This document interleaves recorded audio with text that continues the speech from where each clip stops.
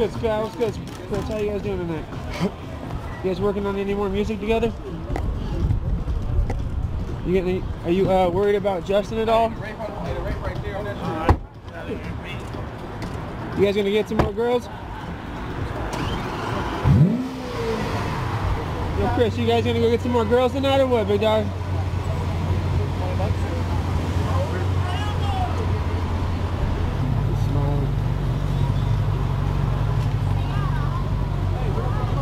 I'm sorry, big dog.